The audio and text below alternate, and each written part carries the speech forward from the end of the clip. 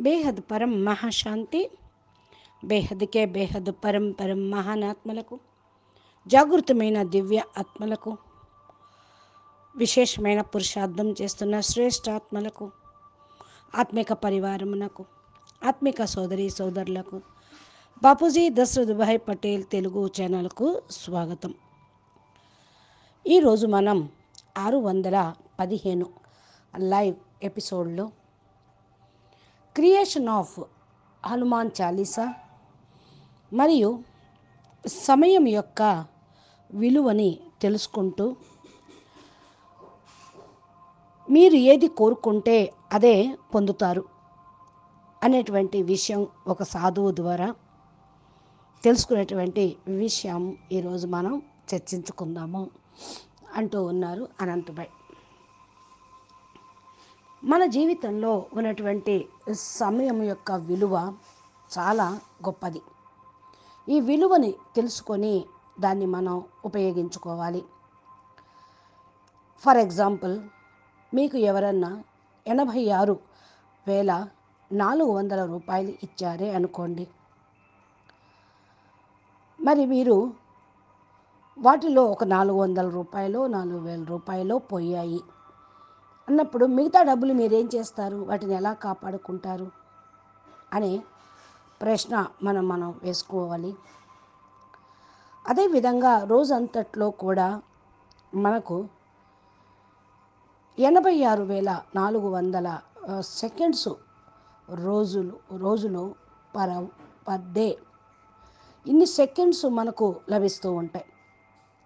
ఆ టైంను మనము ఎలా వెచ్చించుకోవాలి? ఎలా పొదుపు చేసుకోవాలి అనేది మనం మన చేతిలోనే ఉంటూ ఉంటుంది. మనసులో ఏదైనా దుఃఖం వచ్చినా రోగం వచ్చినా సరే న్యారా ప్యారాగా ఉంటూ మన టైంని సేవ్ చేసుకోవాలి. ఏదైతే మనం ఆలోచిస్తూ ఉంటామో మనం మన ప్యాటర్న్ని మార్చుకుంటూ ఉండాలి. కర్మ బంధన వచ్చినప్పుడు ఎలా కర్మ సిద్ధాంతము బిలీవ్ సిస్టమ్ను ఎలా యూజ్ చేసుకోవాలి అనేది మనం నేర్చుకోవాలి. మనకు ఇంత జ్ఞానం చెప్పినటువంటి పరమాత్మ పైన యాటిట్యూడ్గా ఆయనకు మనం చాలా ధ చాలా ధన్యవాదాలు చెప్తూనే ఉండాలి. అయితే ఎప్పుడు ధన్యవాదాలు చెప్తాం? ఎప్పుడు ఒకే రకంగా ఉంటూ సుఖము శాంతి ఆనందంగా ఉంటే ఏం ధన్యవాదాలు చెప్తాం? అదే పరిస్థితులు సమస్యలు వచ్చినప్పుడు విపరీత సంఘటనలు నుండి మన్ని మన భగవంతుడు మనల్ని రక్షించినప్పుడు శతకోటి ధన్యవాదాలయ్యా అని అంటూ ఉంటూ ఉంటారు. ప్రతి సెకండు కూడా మనము భగవంతుని యొక్క భగవంతుని యొక్క విలువను అర్థం చేసుకోవాలి. అప్పుడే ధన్యవాదాలు చెప్పగలుగుతూ ఉంటాం. ఏదైతే మనం ఆలోచిస్తూ ఉంటామో మనకి ఏదైతే మంచి జరుగుతుందో అది ఈశ్వరుని యొక్క ఇష్టము ఆయన యొక్క ఇచ్ఛ కోరిక ఆయన సంకల్పమే అనుకుంటూ మనం నడుస్తూ ఉండాలి. అప్పుడు మనం ఏది విరుద్ధంగా ఏమీ చేయలేము. మరి ఆయన యొక్క ఆత్మ శక్తితోటే మనం ఈనాడు నడుస్తూ ఉన్నాం. ఆయన ఇచ్చినటువంటి ఆత్మ జ్ఞానంతో మనం జీవిస్తూ ఉన్నాం. నిజంగా ఆయన మన పైన కృప చూపించబట్టే మనం ఈనాడు ఆయన యొక్క శక్తితోటి జ్ఞానంతో జీవితాన్ని గడుపుతూ ఉన్నాం. దీనితోటి మనం సదా కూడా భగవంతుణ్ణి మర్చిపోకుండా ఆయన యొక్క కనెక్షన్లోనే ఉంటూ ఉంటాం.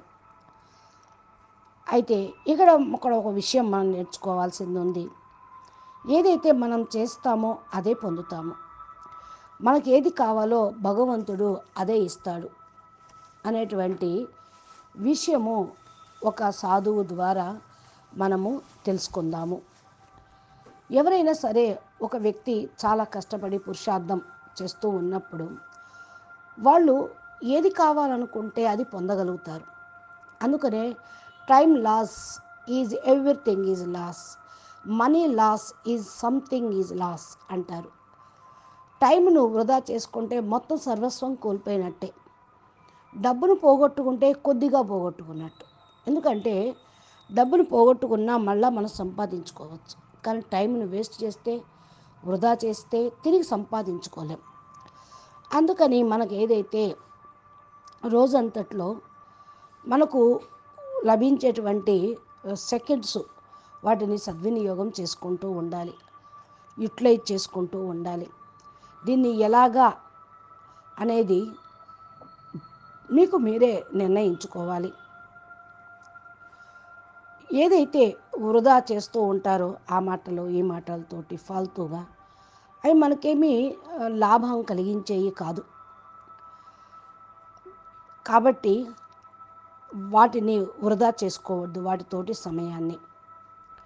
ఒక సాధువు ఈ సమయం యొక్క విలువ గురించి ధైర్యము గురించి చెప్తున్నటువంటి గురువు గారి ఒక సందేశం మనం విందాం. ఒక సాధువు ఒక నది ఒడ్డున ఒక టెంట్ వేసుకొని కూర్చొని మీరేది కావాలంటే అది పొందుతారు ఇక్కడికి రండి. మీకేది కావాలంటే అది లభిస్తుంది అని పెద్దగా అరుస్తూ అక్కడ కూర్చొని రాత్రి మగళ్ళు అలాగే అంటూ ఉన్నాడు. ఇక ఆయన్ని చూసిన వాళ్ళు మీరు ఏది కావాలంటే అది పొందుతారంటే ఈయన దేవుడా ఇస్తాడా ఏంటి అని నవ్వుకుంటూ వెళ్ళిపోతూ ఈయన ఏదో పిచ్చోళ్ళే అంటూ ఉన్నాళ్ళే అని భావిస్తూ వెళ్ళిపోతూ ఉండేవాళ్ళు. ఇంకొంతమంది నవ్వుకుంటూ ఉండేవాళ్ళు. ఒకరోజు ఒక యువకుడు ఆ సాధువు దగ్గరికి వచ్చి మీరు రోజు ఇలా అంటూ ఉన్నారు నేను మీ మాటలు విన్నాను. ఈరోజు నా చెవిన పడిని మిమ్మల్ని కలుసుకోవాలని మీ ద్వారా నేనేదో పొందాలని వచ్చాను. నేను నేను ఏదైతే అనుకున్నానో అది లభిస్తుందా మీరు చేయగలరా ఇవ్వగలరా అని అడిగాడు. హా బేటా తప్పకుండా నీకేం కావాలో కోరుకో అని అన్నాడు. నేను ఒక పెద్ద వజ్రాల వ్యాపారిని కావాలి అనుకుంటున్నాను మన నా కోరిక తీరుతుందా? అని అడిగాడు. హా నిజంగానే తీరుతుంది. నేను చేయగలను ఇవ్వగలను అన్నాడు. మరి దానికి ఉపాయం ఏంటి? అని అన్నాడు. నేను నీకు ఒక వజ్రమును ఒక ముత్యమును ఇస్తాను. దీన్ని నీవు కరెక్ట్గా ఉపయోగించుకోవాలి. వృధా చేయకూడదు అని అన్నాడు. సరే మీరు చెప్పినట్టే చేస్తాను అని అన్నాడు ఆ యువకుడు. సరే కళ్ళు మూసుకొని చేతులు ముందుకు చాచు అన్నాడు. సాధువు తన రెండు చేతులతోటి ఒక దాంట్లో వజ్రము ఒక దాంట్లో ముత్యం పెట్టుకొని ఒక చెయ్యి తీసి ఆ యువకుడు యొక్క చేతిలో పెట్టి ఇది చాలా విలువైనటువంటి వజ్రం. దీన్ని నువ్వు గట్టిగా పట్టుకొని ఉండాలి. ఎటువంటి పరిస్థితుల్లోనూ దీన్ని జా దార విడచవద్దు అని చెప్పాడు. ఆ రెండో చేతిలో ఒక ముత్యాన్ని అర- అరవై రెండో చేతిలో పెట్టాడు. ఇది కూడా అమూల్యమైనదే. అన్నిటికంటే ప్రపంచంలో విలువైనది వజ్రము ఈ ముత్యమే అని అన్నాడు. ఇందుకు ఆ వజ్రం ఏంటి అంటే సమయం అనేది ఒక వజ్రం లాంటిది. నీవు నీ యొక్క సమయాన్ని వృధా చేసుకోకుండా సద్వినియోగం చేసుకుంటూ ఉండాలి. ఇది రెండోది ధైర్యము. నువ్వు ఏదైనా సాధించాలి అనుకున్నప్పుడు ఒడిదుడుకులు లాభ నష్టాలు గెలుపు ఓటమిలు వస్తూనే ఉంటాయి. అయినప్పటికీ సఫలత పొందాలి అనుకున్నప్పుడు ధైర్యాన్ని మాత్రం ఎప్పుడూ కోల్పోవద్దు. ఈ రెండు నీకు వజ్రం మరియు ముత్యం కంటే చాలా విలువైనవి కదా. ఇవే విలువైనవి ప్రపంచంలో. దీన్ని పట్టుకొని నువ్వు జీవితంలో ముందుకు వెళ్ళు. ఏదంటే అది సాధించగలవు అని చెప్పాడు. నిజంగా వజ్రము ముత్యం ఆయన చేతిలో పెట్ల ఎగ్జాంపుల్. దాని యొక్క విలువను ఆ మంత్రాన్ని ఇచ్చినట్టే. యువకుడికి సఫలత పొందుటకు ఆ రెండు మంత్రాలు లభించింది. ఒకటి సమయము రెండు ధైర్యము. ఈ సమయాన్ని వృధా చేసుకోవద్దు అనుకొని నేర్చుకున్నటువంటి ఆయన ముందుకు వెళ్ళి ఆ యువకుడు ఒక వజ్రాల వ్యాపారి దగ్గర కష్టపడి పని చేయటం ప్రారంభించాడు. మనసును జోడించి ఏదైతే నేర్చుకోవాలో ఆయన ఏదైతే నేర్పుతున్నాడో అది మొత్తం నేర్చుకున్నాడు. కష్టపడ్డాడు. మరలా తన స్వప్నం ఏదైతే ఉందో దాన్ని పూర్తి చేసుకోవాలి అనుకుంటూ సమయాన్ని వేస్ట్ చేయకుండా ఒకవేళ తప్పొప్పులైనా ఫెయిల్ అయినా ధైర్యాన్ని మాత్రం కోల్పోలేదు. దాన్ని కూడా వెంట ఉంచుకొని కఠినమైన సమయంలో కూడా ధైర్యాన్ని కోల్పోకుండా ప్రయత్నం చేస్తూనే సాధన చేస్తూనే నేర్చుకుంటూనే ఉన్నాడు. ఒకనాటికి ఆయన పెద్ద వజ్రాల వ్యాపారి అయ్యాడు. తన జీవితంలో సఫలతను సాధించాడు. ఇది కరెక్ట్ కదా మరి? ఇలాగే ఎవరైనా సరే పురుషార్థం చేస్తూ చేస్తూ ఉంటే జీవితంలో ఏది పొందాలనుకున్నా అది పొందవచ్చు. టైము చాలా చాలా విలువైనది. దానికున్న మహత్యాన్ని తెలుసుకొని మీరు లక్ష్య సిద్ధి కోసం దాన్ని నిర్ణయించుకోండి. ఎలా ఉపయోగించుకోవాలి? ఎలా సద్వినియోగం చేసుకోవాలి అని. అలా కాకుండా పురుషార్థం చేస్తూ వదిలిపెట్టేశారే అనుకోండి ధైర్యాన్ని కోల్పోయారే అనుకోండి మీరు ప్రయత్నం కూడా నీళ్ళల్లో పోసిన పన్నీర్ బురదలో పోసిన పన్నీర్ అవుతూ ఉంటుంది. అందుకని సమయం అనేది time is money time is gold అని అంటూ ఉంటారు. సమయాన్ని సద్వినియోగం చేసుకున్నటకు మీకు మీరే ఒక టైం టేబుల్ని నిర్ణయించుకోండి. దాన్ని ఫాలో చేయండి. ఇక టైంను వృధా చేయటం అటు ఇటు మాటలతోటి లాభం ఏమీ లేదు. కాబట్టి all women power is the compound of the time and patience అంటే టైము మరియు ఓపిక ధైర్యము అనేది ప్రతి ఒక్కరికి కూడా మానవీయ విలువలు మానవీయ శక్తులు. దీన్ని మీరు పొందుతూ ఉండాలి అని చెప్తూ ఉన్నారు. మనం దీని ద్వారా నేర్చుకోవాల్సింది కూడా ఇదే. Next creation of Hanuman Chalisa Hanuman Chalisa గురించి అందరికీ తెలుసు. అందరూ పఠనం చేస్తూనే ఉంటూ ఉంటారు. మరి ఇది ఎలా పుట్టింది? ఎవరు దీన్ని తయారు చేశారు? అనేటువంటి విషయం మరి మీ అందరికైతే తెలిసేమో. ఇక్కడ మనకు ఒక టాపిక్ వచ్చింది కాబట్టి ఈ యొక్క విషయం మనం చదువుకుందాము అంటూ ఉన్నారు. ఈ యొక్క హనుమాన్ చాలీసా విషయం అనేది పదహారు వందల శతాబ్దంలో ని మాట అక్బరు మరియు తులసీదాస్కు ఉన్నటువంటి సమయంలో జరిగినది. ఒకసారి ఒకసారి తులసీదాసు తన మధుర రాజ్యం గుండా వెళ్తూ ఉన్నాడు. రాత్రి అవుతూ ఉన్నది ఉన్నది. అతని యొక్క పండాలు ఆగ్రాలో మరి వచ్చేశారు. ఆ విషయం తెలిసినటువంటి ప్రజలందరూ కూడా తులసీదాసుని కలుసుకోవాలి అని ఆగ్రా వచ్చేసాడు అని ఆయన దర్శనం కోసం చాలామంది వచ్చేసారు క్యూలు పట్టారు. ఈ విషయం అక్బర్ బాదుషాకి తెలిసింది. అతన్ని బీర్బల్ని అడిగి ఆ తులసీదాస్ ఎవరు? ఆయన్ని ఏదో మా తులసీదాస్ రామచరిత్ర మానస్ యొక్క అనువాదం చేశారు అని బీర్బల్ అక్బర్కి చెప్పడం జరిగింది. ఇంకా ఈ శుభ సమయంలో తులసీదాస్ని రామ భక్తుడిగా గుర్తించి నేను కూడా ఆయన దర్శనం చేసుకోవటానికి వచ్చాను అని అన్నాడు. అక్బర్ కూడా ఆయన దర్శనం యొక్క కోరికను వ్యక్తం చేయటంతో ఇక బీర్బల్ కూడా నేను కూడా ఆయన దర్శనం కావాలని కోరుకుంటున్నాను అన్నాడు. వెంటనే బాద్షాహి అక్బర్ తోటి తన సిపాయిలను పం పంపించి తులసిదాస్ దగ్గరికి ఈ బాద్షాహి ఇచ్చినటువంటి సందేశంగా తులసిదాసును ఇక్కడ హాజరుపరచాలి అని సందేశంగా ఇవ్వండి అని పంపించాడు.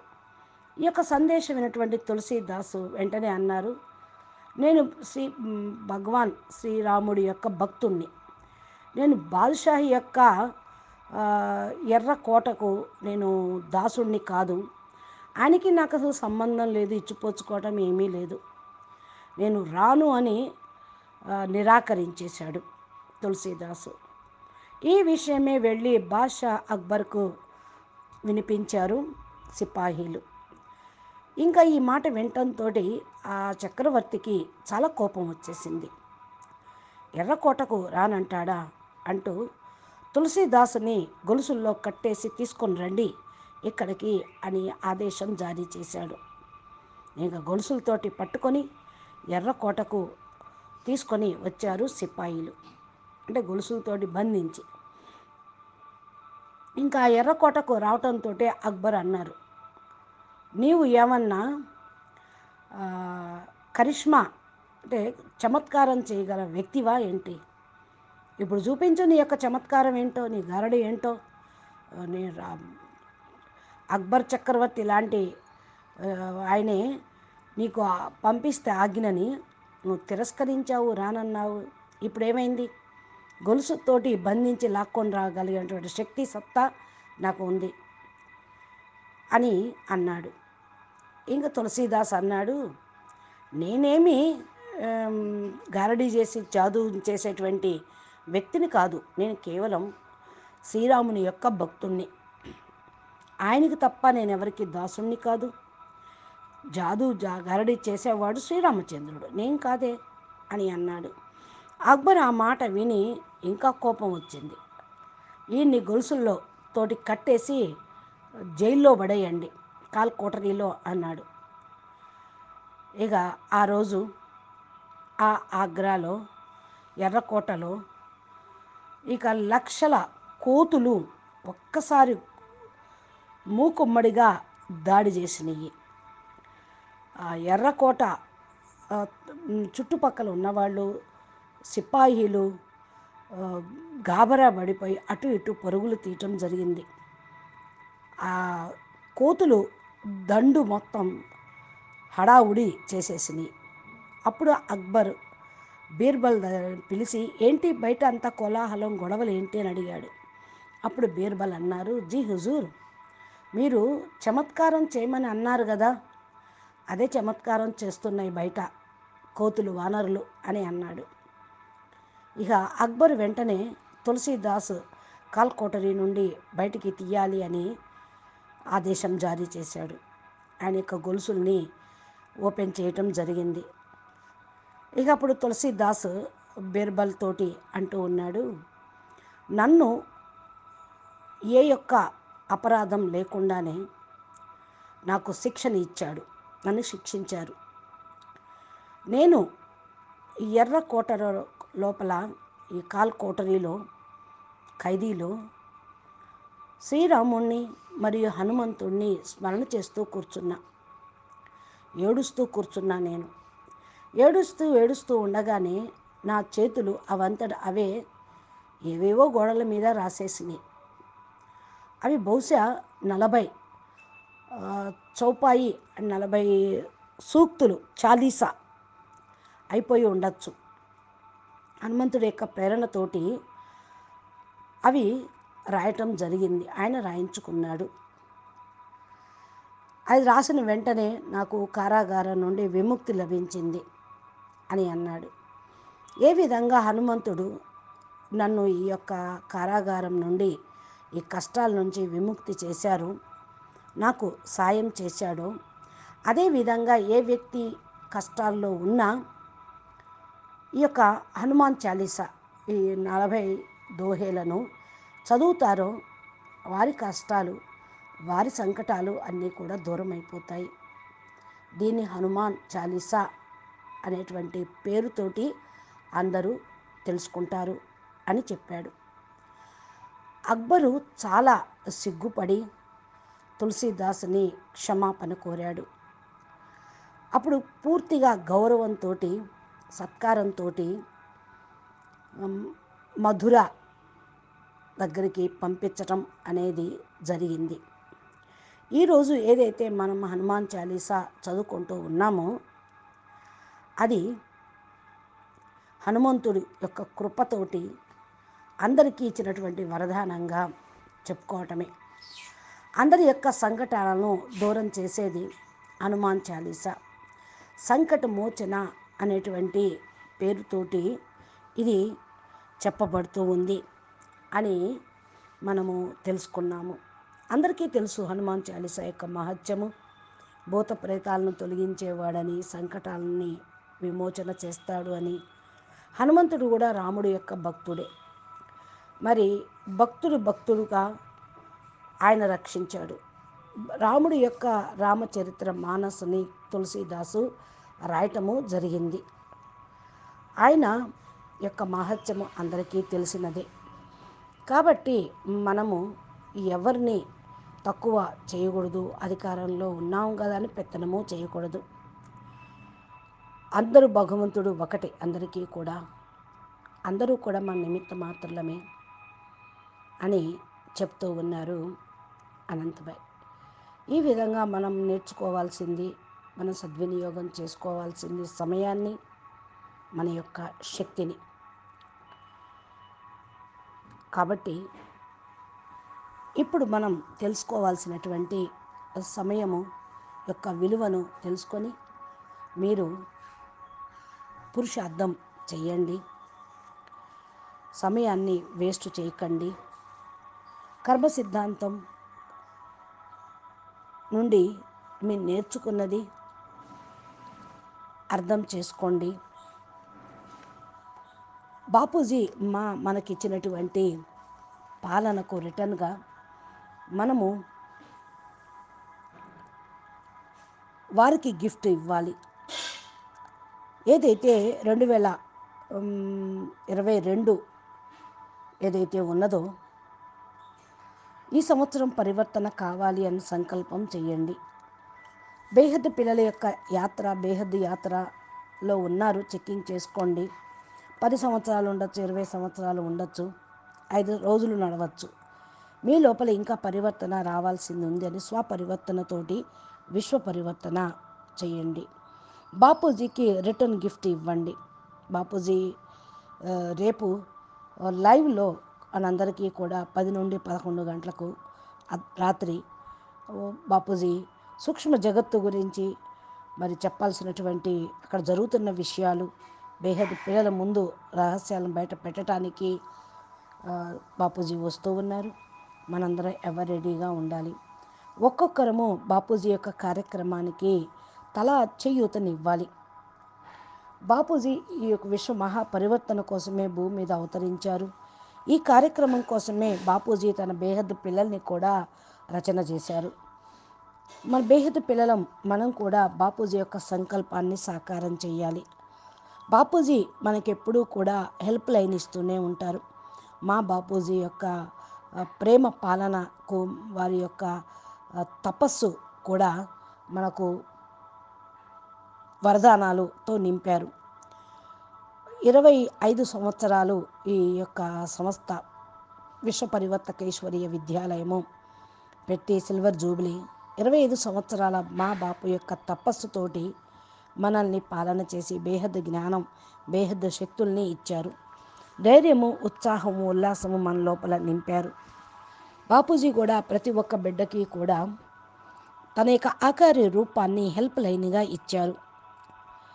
మీరు మనసారా ఒక్కసారి బాపూజీ అని పిలిస్తే హాజీర్ నజీర్ అవుతాను. ఇక్కడే మీ ఎదురుగా ఉంటాను. మీ సమస్యలు తీరు తొలగిపోతాయి అంటూ ఉన్నారు. లైట్ స్వరూపాన్ని పరం లైట్ ప్రకాశం స్వరూపులంగా మనం ఉంచు లైట్ యొక్క అభ్యాసం చేస్తూ అలౌకిక శక్తులను అనుభవం చేసుకుంటూ ఉండాలి. ప్ర- మన యొక్క ప్రతి ఒక్క యాక్షన్లో కూడా అటెన్షన్ పెట్టుకుంటూ మన కర్మ చేస్తూ ఉండాలి. హిమతే బచ్చే మదే బాప్ అంటూ ఉంటారు. మనం ధైర్యం పెట్టుకుంటే బాపు సహాయం చేస్తారు. ఒక్క అడుగు మనం వేస్తే బాపూజీ మనకు వెయ్యి అడుగులు వేయిస్తూనే ఉంటూ ఉంటారు. మనకు బాపూజీ కూడా డైరెక్షన్ ఇస్తూ ఉన్నారు. ప్రతి ఒక్క పరిస్థితి కూడా పరిస్థితుల అనుసారం కూడా మనకు పాయింట్స్ బేహద్ మా ద్వారా అస్కా పురుషార్థం ద్వారా వస్తూనే ఉంటూ ఉంటాయి. మనసు ఎప్పుడైనా అప్ అండ్ డౌన్ అయినప్పుడు మా వాణి మనకు ఎంతో సహాయం చేస్తూ ఉంటుంది. అమృతవాణి బాపూజీ యొక్క ప్రతి ఒక్క సెకండు ప్రతి సంకల్పము మన కోసం ఉపయోగించారు. కాబట్టి మన జ్వాలా స్వరూపంగా లైట్ స్వరూపం యొక్క అనుభూతిని పొందుతూ విశ్వ కళ్యాణం అనేది చెయ్యాలి. మరి ఏదైతే పద్దెనిమిది అనుకుంటూ ఉన్నామో ఇరవై రెండో తారీఖు ఇరవై రెండు ఒకటి ఇరవై రెండు మనం ఈ సంవత్సరము సంకల్పం తీసుకుందాము. ఈ సంవత్సరము నేను విశ్వ పరివర్తన చేయటానికి రెడీగా ఉన్నాను. స్వపరివర్తనతోటి విశ్వ పరివర్తన చేస్తాను అని. బాప్ అయితే పరివర్తన చేసేసేవారే పిల్లల కోసమే ఉన్నారు. మీ అందరికీ కూడా తెలుసు దశరథ్ మాజీ అనేటువంటి ఆయన తను ఒక్కడే కొండను పగలగొట్టారు. ఆయన దృఢ ప్రతిజ్ఞ చేసుకున్నాడు ఇంటర్వ్యూలో కూడా చెప్పారు. ఒక పత్రకారుడు వచ్చి ఇంటర్వ్యూ అడిగినప్పుడు మనమందరం భగవంతుడు వచ్చి ఏదో చేస్తాడు అని ఎదురు చూస్తూ ఉన్నాము. భగవంతుడు కూడా మన కోసం మన పైన భరోసా పెట్టి చూస్తున్నాడేమో? ఆలోచించండి. ఇలాగే బాపూజీ యొక్క కార్యక్రమం పిల్లల పైన ఉంచారు. పిల్లలు ఎవరు రెడీగా కావాలి? పిల్లలు చేస్తారు అంటూ కూడా.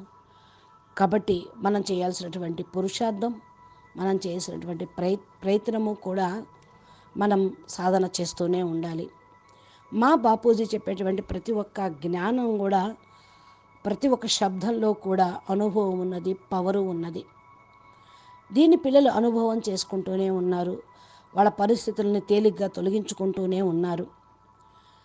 మనం రోజు కూడా బాపూజీ డైరెక్షన్ అనుసారంగా బేహద్ అకారి బాపు ఇస్తున్నటువంటి జ్ఞానం పాయింట్స్ను కూడా వింటూనే ఉన్నాం.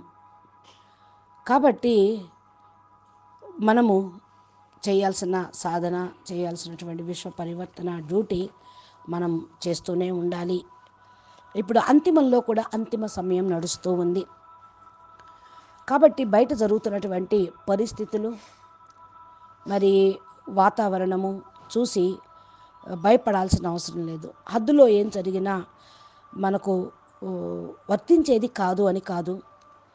అంతిమంలో అంతిమం అందరికీ గిఫ్ట్ ఇచ్చి విశ్వ పరివర్తన చేసి ఎవరికి దుఃఖము బాధ లేకుండా ఉండటం కోసమే మనము నాలుగు కళల పవర్ని బేహద్దు కళల పరంధామం నుండి తీసుకొని మల్టీవర్స్లోకి పంపించి మనం దాన్ని క్లియర్ చేసుకుంటూ ఉండాలి. మనం ఆరాని కూడా తయారు చేసుకుంటూ ఉండాలి. కాబట్టి ఇప్పుడు మల్టీవర్స్లో ఉన్నటువంటి ఆత్మలందరికీ బేహద్దుకే బేహద్దు పరంపరం సుఖం బేహద్కే బేహద్ పరం పరం పరం ఆనందము. పరం పరం పరం అందిస్తూ ఉంటూ ఉంటే తప్పకుండా మన లక్ష్యం ఏదైతే ఉందో అది మనం తప్పకుండా సాధిస్తాము. పవర్ఫుల్ గోళము నుండి పవర్ వస్తూ ఉంది అని అందరు అనుకుంటూ ఉన్నారు. ఆ మల్టీవర్స్ లోపల మనకు నలువైపులా పవర్ని నింపాలి.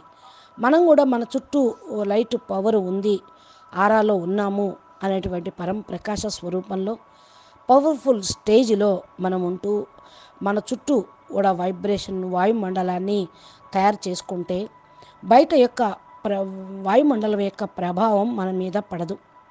పారలౌకికమైన బాపు అతి సూక్ష్మ అతి సూక్ష్మమైనటువంటి శక్తి పిల్లలకి ఇస్తున్నారు. బేహదు సర్వశక్తి సాగరుడు యొక్క పిల్లలము మన దగ్గర చాలా చాలా పవర్ అనేది ఉంది. బాపూజీ పవర్ నింపుతూనే ఉన్నారు. బాపూజీ యొక్క పవర్ తోటి ఈ కలియుగం వాతావరణం నుండి కూడా న్యారా ప్యారాగా ఉంటాము. ఉండగలము. బాపూజీ సమానంగా స్థితిని మనం అనుభవం చేసుకుంటూ ఉండాలి. మనకు అందుకే బాపూజీ సదా శక్తిని ఇస్తూనే ఉన్నారు. మనలో శక్తిని నింపుతూనే ఉన్నారు. దీనితోటే మన రోగ శోకాలు దుఃఖం అన్నిటి నుండి అతీతంగా అవుతూ ఉన్నాము. ఇంకొకటి కర్మ బంధన ముక్తులుగా కావాలి. మా కూడా చెప్తూ ఉన్నారు. బేహద జ్ఞానము యోగంతోటే మన కర్మ బంధన ముక్తులుగా అవుతాము అని. ఎంతెంతగా ఈ యొక్క బేహద్ జ్ఞానము యోగమును ధారణ చేస్తూ ఉంటామో అంతంతగా కర్మ బంధన ముక్తులుగా అవుతూ ఉంటాం. అచ్చా! పరం శాంతి నమస్తే ధన్యవాదాలు. బేహద్కే బేహద్ పరం పరం పరం మహానా మహాశాంతి హై మహాశాంతి హై మహాశాంతి హై. బాపూజీ దశరథ్ భాయ్ పటేల్ తెలుగు ఛానల్లో బాపూజీ అద్భుతమైనటువంటి జ్ఞానంను ఇస్తూ ఉన్నారు. ప్లేలిస్టులో ఉన్నాయి. ఛానల్ని సబ్స్క్రైబ్ చేసి గంట సింబల్ని ప్రెస్ చేస్తే బాపూజీ అప్లోడ్ చేసే లైవ్ వీడియోలు మా యొక్క దివ్య సందేశాలు అజకా పురుషార్థము అవన్నీ కూడా వింటూ మనం ఆధ్యాత్మికంగా టైంను వృధా చేసుకోకుండా సద్వినియోగం చేసుకుంటూ మన జీవితంలో సక్సెస్ని పొందాలి. నమస్తే ధన్యవాదాలు. పరం మహాశాంతి